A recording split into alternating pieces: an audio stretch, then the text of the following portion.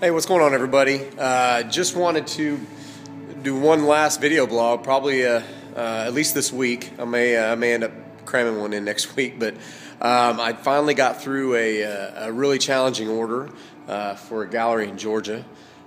This one dates back, at least a lot of these designs date back to my garage days, right at the beginning of the Iron Chinchilla before we had a studio and all that kind of thing, and back when my ideas were still fresh and uh, and there weren't really any any rules. I hadn't been uh, I hadn't been tainted by what people like or don't like. I just did what I, I, loved, and I really I look back at a lot of those designs from that era and go, you know, I need to get back into that.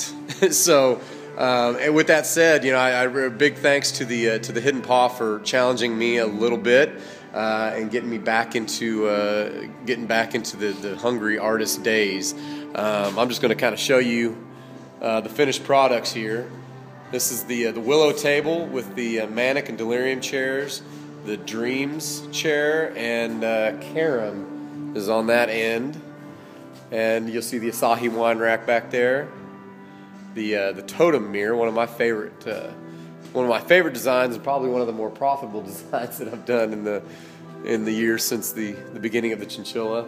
And then, of course, the uh, the Padua bookcase, uh, certainly one of our more popular pieces uh, over the years. And uh, I'm really grateful to uh, to the Hidden Paw for for uh, giving me this opportunity. I'm going to get this stuff on a pallet and start sending it your way. So, um, y'all take care. Have a wonderful Christmas, and we'll talk to you soon. Bye.